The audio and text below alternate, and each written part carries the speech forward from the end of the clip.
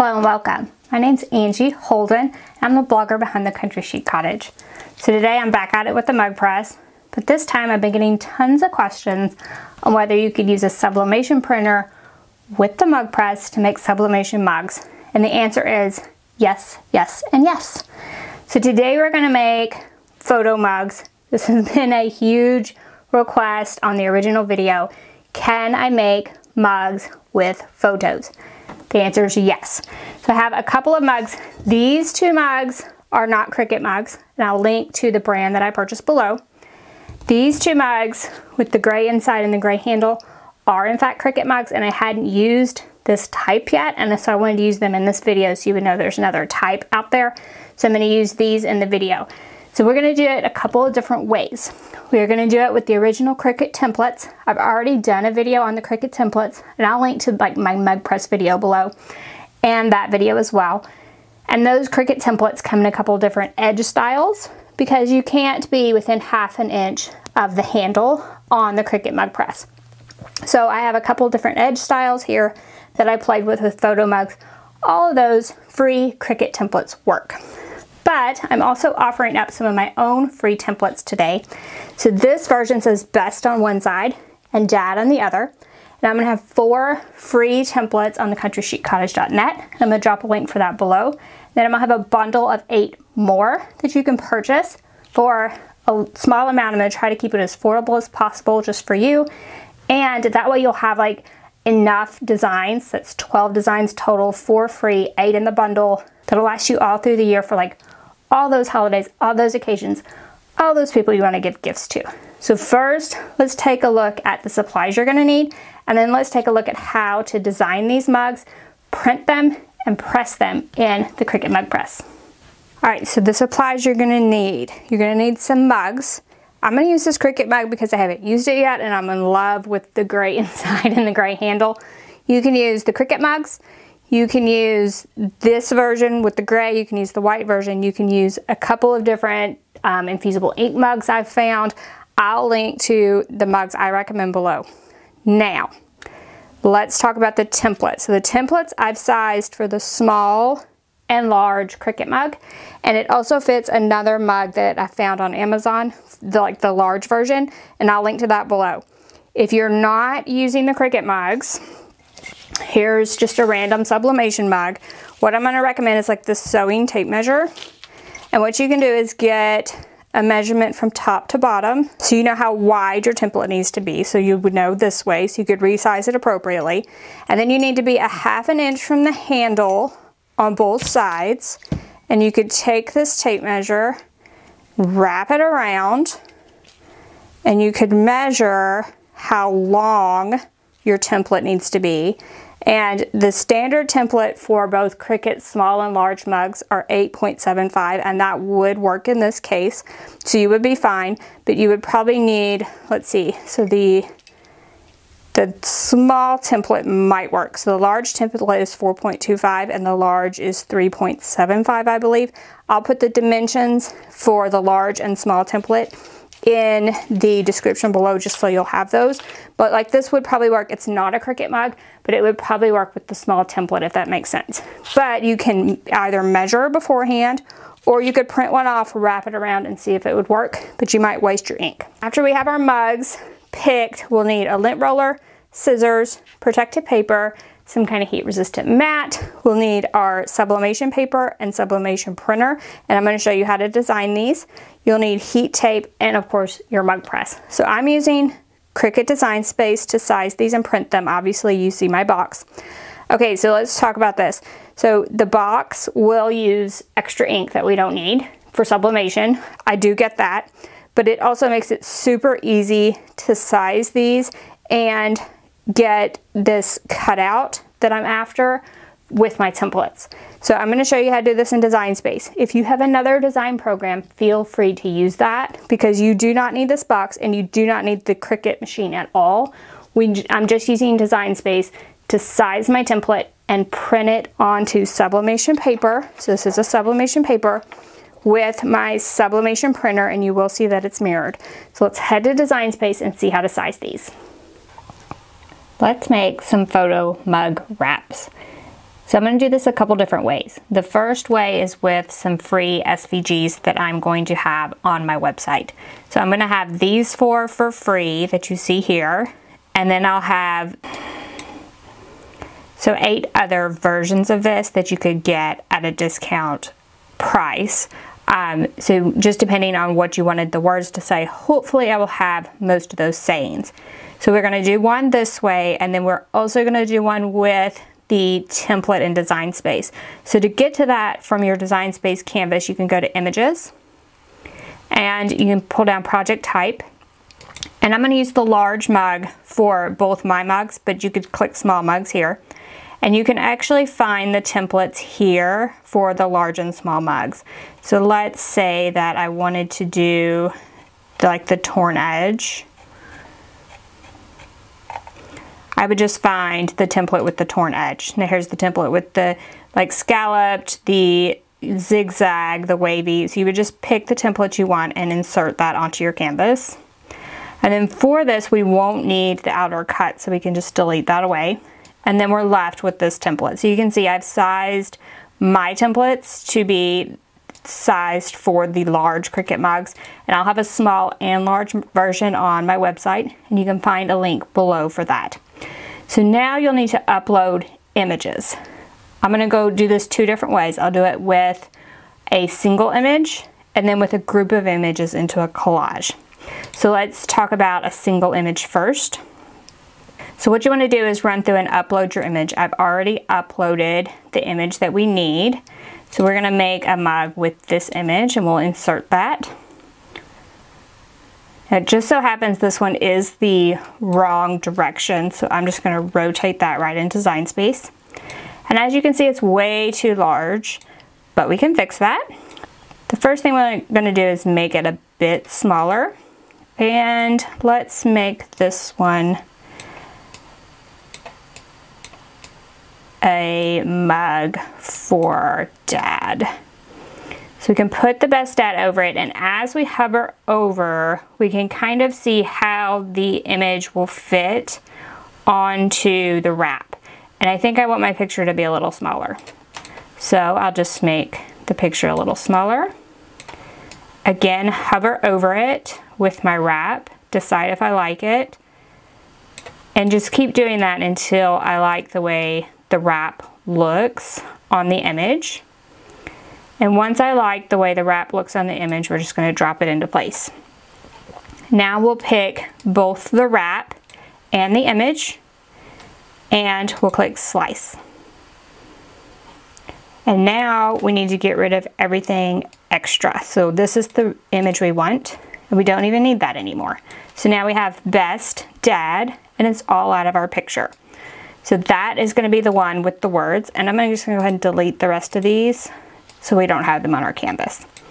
Now let's do a collaged image with this wrap and this is one of the ones free in Design Space. So we'll need to upload our images. So we'll do that first. So we'll click upload. This time I'll show you how to upload the image just in case that you don't know how. You just need to find where your image is, pick it, and upload it. You can do complex here is fine. Click continue. You don't need to erase anything because we're going to use it for our mug wrap.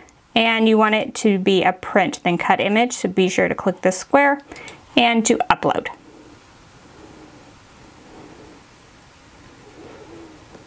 Now it's in the same place as my other one was and I'll pick that and insert it onto my canvas. So I want to collage this with another image so I'm going to insert another one that I've already uploaded. So we already walked through how to upload so I'll insert my second image. So I'm going to collage two here, but you can use as many images as you would like for the collage function. So we are just going to start by resizing these however we think they will look good on our wrap.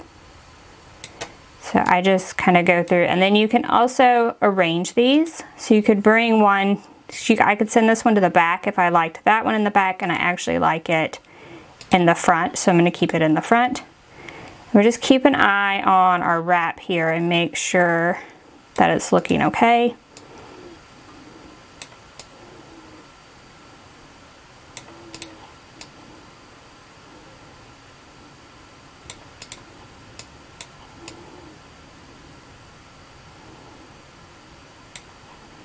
So now I have my two images. If I lay my wrap over, I really like the position of those photos. So I'm gonna lay my wrap over them both. And now you can only slice two things at a time. So if I combine these two images by welding them together, that's going to get rid of my print and cut. So we don't want to do that. We're going to undo that. If I flatten these two images together, I still won't be able to get that slice function because it still sees it as more than one image. So I'm going to undo that. We're going to unflatten. So what I like to do is just slice one at a time. So what I'm going to do is duplicate this background so I have two copies of it. And then I'm going to pick the first picture in the background and click slice. Then I'm going to get rid of everything that I don't need. So I don't need this piece. I don't need this piece. I don't need this piece. So all I need is this piece.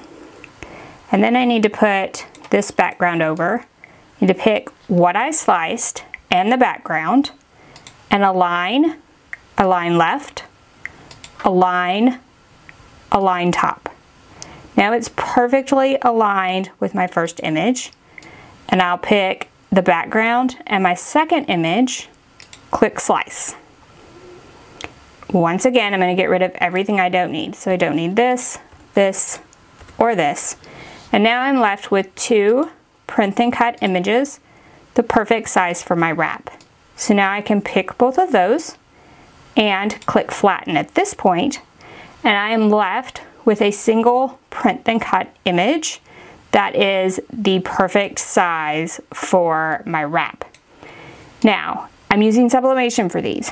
Why do I need it to be a print and cut image? It's just easier to explain in Cricut Design Space as far as how to slice the images. There are definitely other programs out there, and if you have those, you can definitely take my SVG files into those programs and slice away, or you could take the mug wraps from Cricut and you could export those as like a ping and you could slice away in another program as well. But for just simplicity's sake, you can do it right here in Cricut Design Space. And now when I click make it, you'll see that I have two print and cut files that I can now send to my sublimation printer. So one thing I did want to note, first you will need to choose either Maker or Explore in Cricut Design Space for this to work. Cricut Joy does not work with print and cut and you will not see the correct options for that one. And then after I click Make It, I did want to point one thing out. You can mirror your design in here. I have my sublimation printer set to mirror every time. So if I was to mirror here, that would be a double mirror, which would not be good. So I'm gonna leave mirror off in here and I'm just gonna click continue and I'm gonna click send to printer from here. One thing you want to do when you do printing in Cricut Design Space to a sublimation printer, first I will pick my sublimation printer. I'm going to uncheck add to bleed. Now, if you have any trouble with your sublimation printer printing too fast or not printing high quality, you can use this use system dialog box. And after you click print, a dialog box will open up for your printer and you can change any settings in this dialog box to make it print correctly. So now I'm going to print both of my pictures and then we'll take a look at how to add those to a sublimation mug. Alright, so now that I have these printed, we're going to press, right? So I'm going to set my mug press over here. I'm going to go ahead and turn it on and let it start heating up. Now, for our prints, we don't want this black box on our mug, obviously. So I'm going to trim that away. And what I'm going to do, I'm not going to cut on the sublimation print, but I'm going to cut fairly close take my time and try to cut fairly straight. Because I'm gonna use this to make sure I get my design straight on my mug, I wanna be sure to cut straight across. And then we're gonna use that same procedure across the top. Be sure to cut fairly close and as straight as you can get it.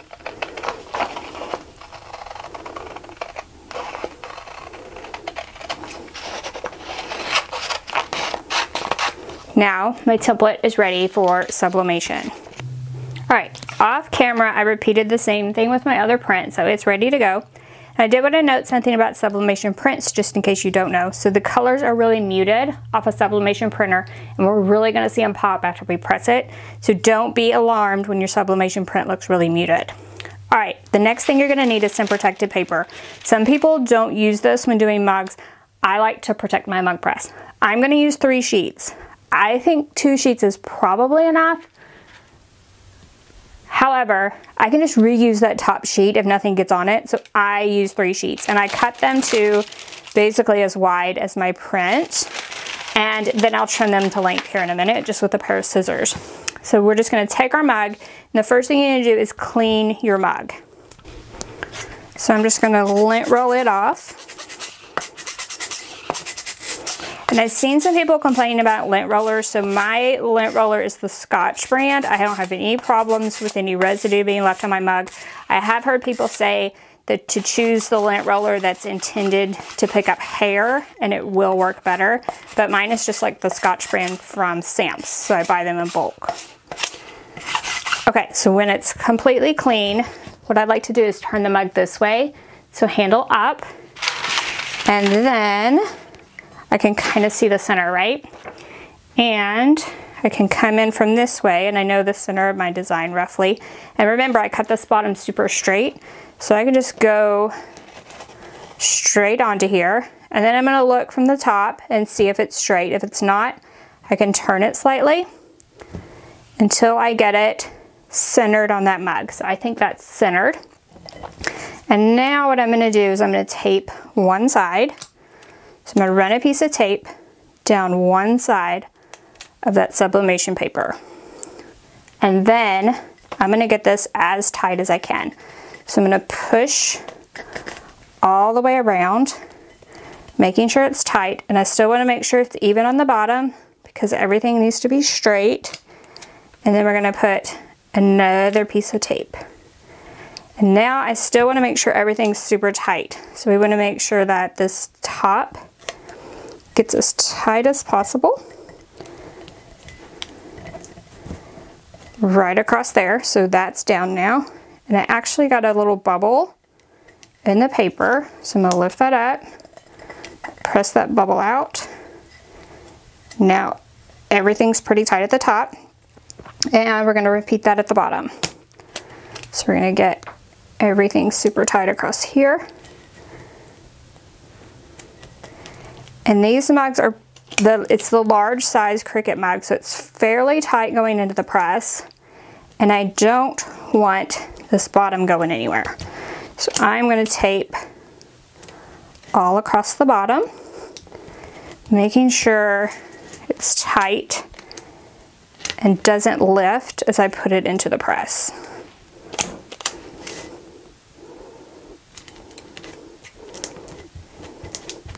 Now, that looks really good. So now we can work on adding the paper around the outside. All right, so we're going to stack these three pieces of paper together. We're going to put them on all at once. All right, so this is um, paper intended for sublimation. So it's a protected paper. I'll link to it below.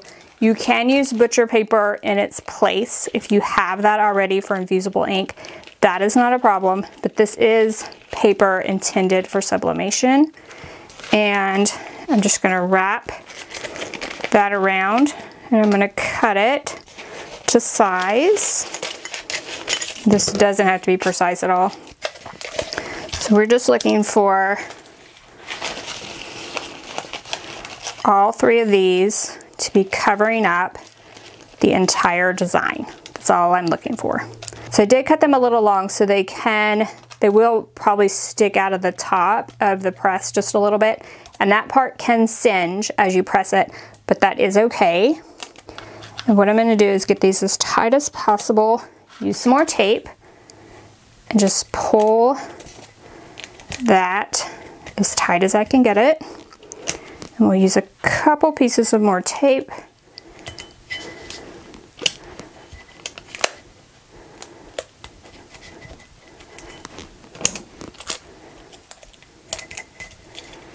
All right, So now we are tight to the mug. We have everything protected and we are ready to add this one to our mug press.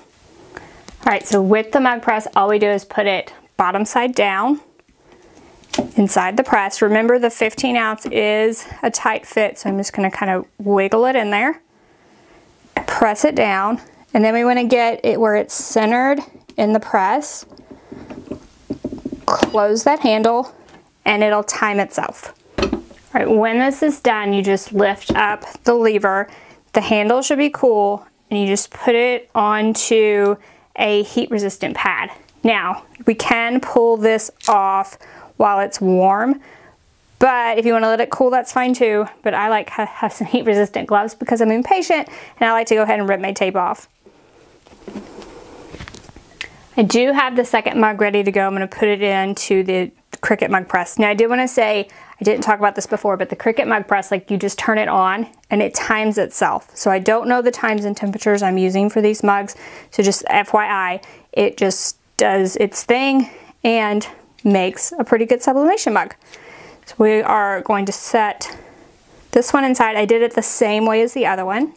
Put it down and close the lever. And then this one will press and time itself and we can start removing the tape from this hot one. And while I'm peeling off this tape, let's talk a little bit about mugs. So we use the Cricut mug. I didn't tape around the top. Some mugs you will find are slightly tapered. So it's barely, where you can barely see it, but they are slightly tapered.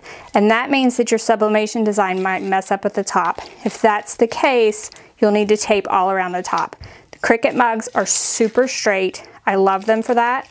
But just to note, if you're gonna use other mugs and you have trouble with the sublimation fading out at the top, it is just that the mug is slightly tapered.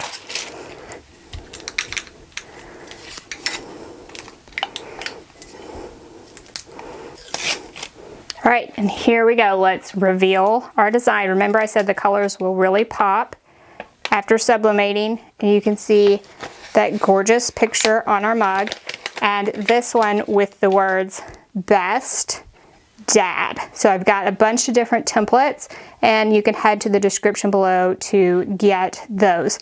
Now I'll wait on my other mug and we'll take a look at it. And here's a look at both the mugs we made. So I this, this one is still really hot. So I'm gonna have my gloves on for this portion of the video, but you can see the gorgeous pictures and how great sublimation is on mugs. All right, it's actually a pretty simple process, right? So drop down below. I'm gonna have tons of links for you. Videos to watch. I will link to a video on how I made an Epson EcoTank printer into a sublimation printer. If you're not into sublimation yet, that's kind of the absolute cheapest way to get into it. And it kind of explains how sublimation works. I'll also link to a video if this is the first time you've ever heard of sublimation and you're just wild about photo mugs. I will link to a video that is just like what is sublimation, the basics below as well. So the what is sublimation, how to turn that Epson printer into a sublimation printer, then mug press videos, and then you'll have all the basics you need to start creating your own photo mugs right at home. I hope you've enjoyed this. I know I am in love with this project.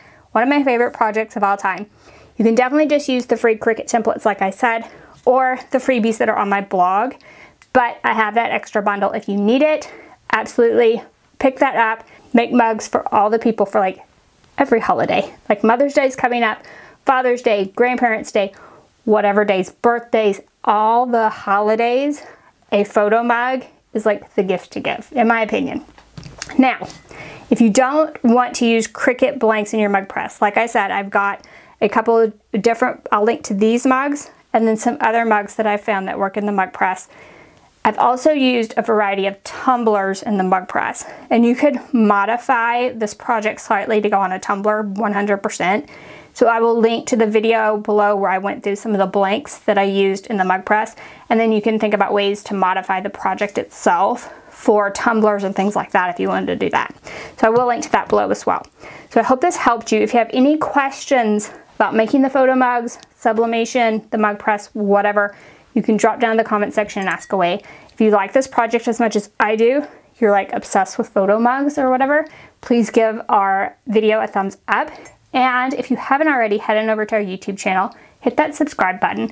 We have videos every single week about your Cricut, about sublimation, and all kinds of other crafts. So I hope you will join us by hitting that subscribe button. Thank you all so much for joining me today, and I'll see you next week. Bye-bye.